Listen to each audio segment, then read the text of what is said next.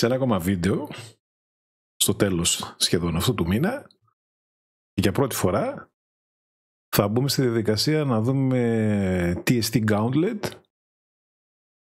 τι γίνεται με το Gauntlet το οποίο έρχεται στις 10 Δευτέρου ένα Gauntlet το οποίο το διοργανώνει ο Ζίζαρα ε, και θα μιλήσουμε λίγο και για τα SRS προσαρμοσμένα για το Gauntlet. Λοιπόν, το Gauntlet για όσους δεν ξέρουν είναι ένα event το οποίο θα, κρατήσει, θα κρατήσει 10 μέρες το οποίο είναι hardcore και είναι και solo self-found. Αυτά είναι πολύ, πολύ βασικά για να μπούμε λίγο στην αρχική φιλοσοφία. Από εκεί και πέρα. Το Gauntlet, αυτό που θα γίνει στις 10 Δευτέρου, έχει μπει μια καινούργια κατηγορία που λέγεται Band Skills, δηλαδή skills τα οποία δεν μπορούμε να χρησιμοποιήσουμε.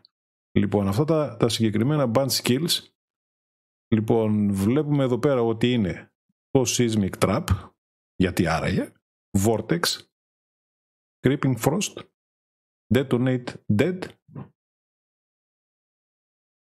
Λοιπόν, αυτά εδώ τα συγκεκριμένα skills δεν μπορούμε να τα χρησιμοποιήσουμε μόνο όταν πηγαίνουμε για κάποιες συγκεκριμένες αμοιβούλες. Και το Gauntlet έχει πολλές αμοιβούλες. Υπάρχουν οι βασικές αμοιβούλες που δίνει η ίδια η εταιρεία που συνεργάζεται με το συγκεκριμένο event, που είναι όλα γενικότερα, όλα τα MTX που υπάρχουν σε λίστα. Το link φυσικά εννοείται ότι αυτό θα βρίσκεται κάτω για να το τσεκάρετε με την ησυχία σας. Έχει όλη, οτιδήποτε, όλες τις λεπτομέρειες μέσα. Λοιπόν, και υπάρχουν και οι αμοιβούλες οι οποίες είναι με κληρώσεις είτε είναι bounties από άλλους streamer. Αυτές οι κληρώσεις ε, λοιπόν και γενικότερα οι πολύ special αμοιβές, αν θέλουμε να τις διεκδικήσει κάποιος δεν μπορούμε να έχουμε αυτά τα συγκεκριμένα skill. Αλλιώς μπορούμε να τα χρησιμοποιήσουμε και αυτά τα skills εάν απλά πάμε να κάνουμε ένα leveling μέχρι το 90 level και μήπως και μπούμε σε, σε κάποια κλήρωση για κάποιο MTX της εταιρείας. Λοιπόν, αυτό το πώς μπαίνουμε είναι πάρα πολύ εύκολο, θα σας εμφανιστεί σαν, σαν event γενικότερα λίγες μέρες νομίζω πριν ξεκινήσει. Εντάξει, υπάρχουν Λοιπόν, ε, μπορείτε να δείτε τα πάντα εδώ πέρα όσο αφορά λοιπόν ε, τις αμοιβές. Βλέπετε εδώ μπορούμε να πάρουμε αυτές είναι οι αμοιβές που σας έλεγα που μας κλειδώνει λίγο τα skills έτσι ούτως ώστε να, είναι, να έχει πιο πολύ ενδιαφέρον, να γίνει ακόμα πιο δύσκολο από ό,τι ήδη είναι. Βλέπουμε εδώ 40, 90 κτλ. Δεν θα μείνουμε εδώ πέρα, δεν υπάρχει λόγος. Θα πάμε σε κάτι θα πάμε σε κάτι γενικότερα πιο βασικό. Αυτά όπως είπα θα βρίσκονται στο link το οποίο μπορείτε να το δείτε. Λοιπόν, ε, Λοιπόν, το συγκεκριμένο Gauntlet και γενικότερα τα τελευταία Gauntlet που έχουμε, που έχουμε γνωρίσει, λοιπόν, έχουν έξτρα δυσκολίες. Αυτές οι έξτρα δυσκολίες Λοιπόν, ε, πλέον θα τις ε, βλέπουμε σιγά σιγά και όχι, και όχι από την αρχή όλες μαζί όπως ήταν μέχρι τώρα. Λοιπόν, πάμε να δούμε τι θα πει αυτό για να γίνει λίγο πιο κατανοητό. Ξαναλέω, είμαστε σε hardcore SSF. Από το Act 1 έως το Act 5 έχουμε 20% less damage taken. Αυτά αφοράν, αφοράν, ε, αφορούν τα, όλα τα, τα mods τα οποία θα υπάρχουν στις περιοχές από το Act 1 έως το Act 5. 20% increased damage. Αυτά φυσικά πηγαίνουν στα masters αν έχετε έτσι κάποια ελπίδα ότι τα παίρνετε εσείς έτσι. 10% increased attack και movement speed και ένα additional projectiles. Οπότε καταλαβαίνουμε αμέσως αμέσως ότι όλες οι περιοχές από την αρχή ακόμα είναι πολύ πιο δύσκολο και διαχειρίσιμο. Act 6 έως Act 10 20% less damage, 25, 15 και ένα αντίστοιχα και προστίθεται ένα area of effect στα masters. Εδώ θα δείτε ότι στα άσπρα τα maps έχουν αλλάξει τα νουμεράκια. Έχουμε και δύο additional projectiles πλέον και τερματίζουν σε περιοχές 85+, οι οποίες αφορούν φυσικά τα Uber Boss. Υπάρχει λόγος γι' αυτό, γιατί πολλές αμοιβούλες βρίσκονται αποκλειστικά εκεί.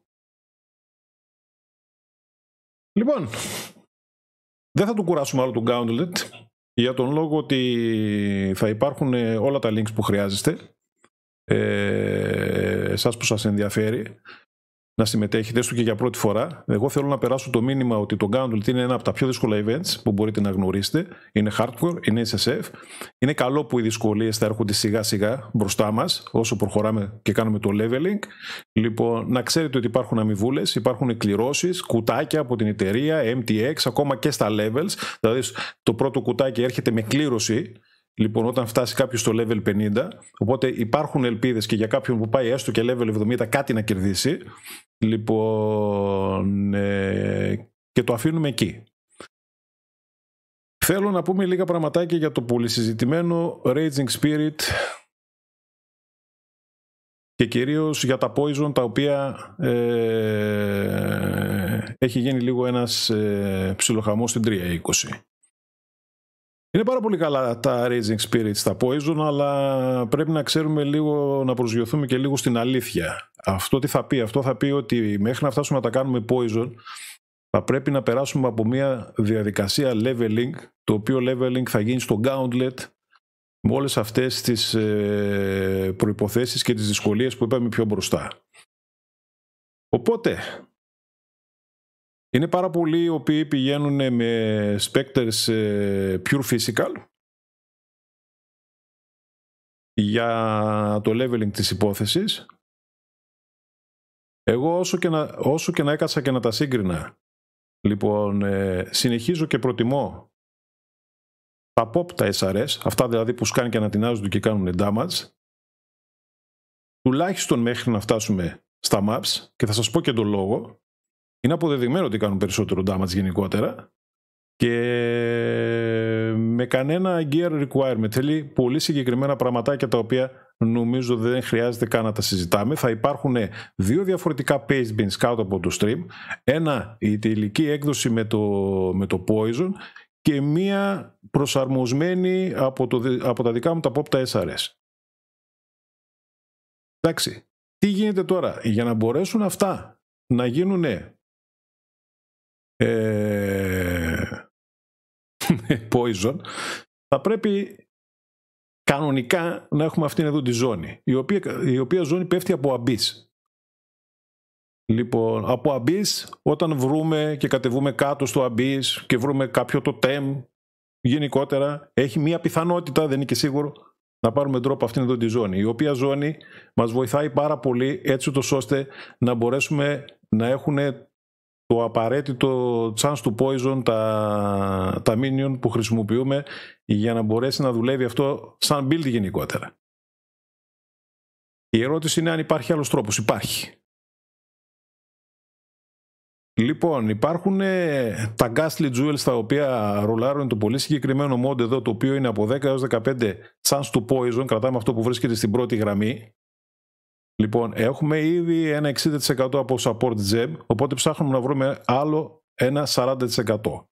Με δύο τζεμάκια έστω για αρχή, που κανονικά θέλει τρία, λοιπόν, ε, μπορείτε να ξεκινήσετε και χωρίς τη ζώνη να, να γυρίσετε το build σε Poison ε, Raging Spirits.